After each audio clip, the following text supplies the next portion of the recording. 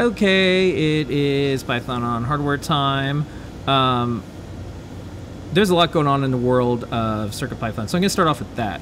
Um, next month, August 19th, we are once again celebrating CircuitPython Day. We have an entire day's worth of activity. It's Friday, August 19th. We'll have stuff going on all during the day. We'll have show and tells, we'll have giveaways. Um, tune into all of the shows between now and then, and you'll get a chance to probably win one of those CircuitPython tablets. Um, and then we have a full day of uh, folks who are just doing cool stuff with Python on hardware. And so that'll be our CircuitPython day coming up. Um, sort of big news, I think, anyways, because um, this is always interesting. This is the lead story in the newsletter, the Pi 5 RISC-V ASICs project. And this is an open source hardware chip, and um, they're making a community driven, well, they're, where they're describing it as a community driven RISC-V based microcontroller with the ability to easily support CircuitPython and MicroPython. So, Ada, you know a little bit about these things. Why is this interesting, and is this the future of uh, chip development? It could be. Um, this is interesting because, uh, well, it's interesting for two reasons. One, RISC-V is a microcontroller architecture that has gotten a lot of attention lately because um, it's starting to be picked up by big in industry um, partners like Western Digital. Um, is you know makes chips with uh, RISC-V and, and SiFive does as well, and a couple other companies um, Espressif, ESP, uh, and there's some a bunch of other chip companies that are making RISC-V cores, and um, especially pairing them with machine learning and AI stuff.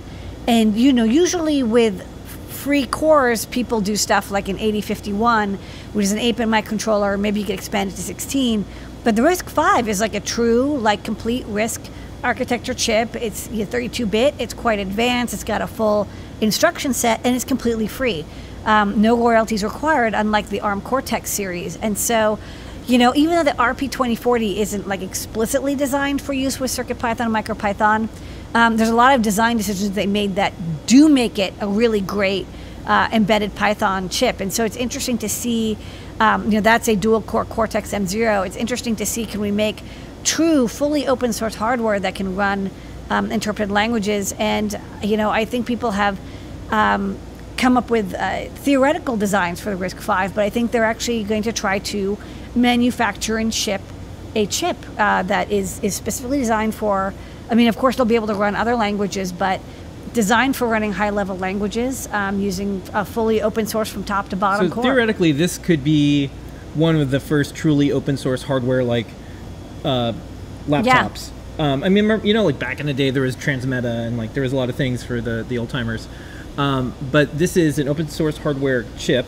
It could run open source software like CircuitPython, and it's an interpreted language like Python, and the full stack from hardware to software could be open source. Yeah, I think it's very interesting. I mean, the tough part is the peripherals, um, but you know, if they've got the time and you can't get chips, you might as well sit down and do them. Yeah. Uh, it could be really, it could be very neat. I think, I think it is interesting that they're deciding, you know, let's let's try to support um, MicroPython or uh, CircuitPython. I know that there's, I think the FOMU is an FPGA that supports, that runs a RISC-V core that runs Python. So it could be, or maybe it's the SOMU. I don't remember. There's a, they're very similarly named. Um, but it, I think this is really neat. So uh, check it out. I think they're doing some fundraising right now. All right. Um, so uh, you can check it out on GroupGets, and also you can watch the progress on Hackster. Um, Banana for scale.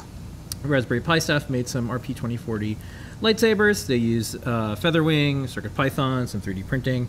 Um, we have some Pico add-ons. We're calling those bells. If you saw our video last week, we debuted cowbells, um, and you could see some of the logos and a little bit of the story behind we it. We need a song. We've got cowbells. There's ding, ding, more ding, cowbell. Uh, I got a fever that only be cured by some more Raspberry Pi Pico Pi bells. Um, and uh, you can check out the rest of the newsletter um, with a gigantic, massive amount of projects.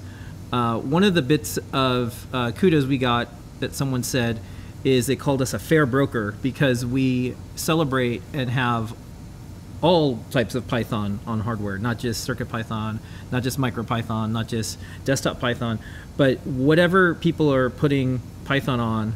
Um, and there's you know a few different ways to do that on devices, and we you know we've written about this before. Um, but all the projects. So if you're doing something in MicroPython, totally okay. If you're doing CircuitPython, it's fine.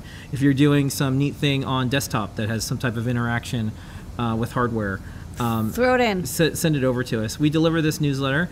every single week into your inbox. Um, you No can ads. also always check it out on the website if you don't want to subscribe, and that's over on adafruitdaily.com. It's a completely separate site because we don't like to mix up things like your store account and then stuff that you just want to read. So we decided to make a whole separate site, adafruitdaily.com, and that's just for newsletters. We don't spam, we don't market, we don't harvest any emails anywhere, anytime, but we wanted to go above and beyond and show that.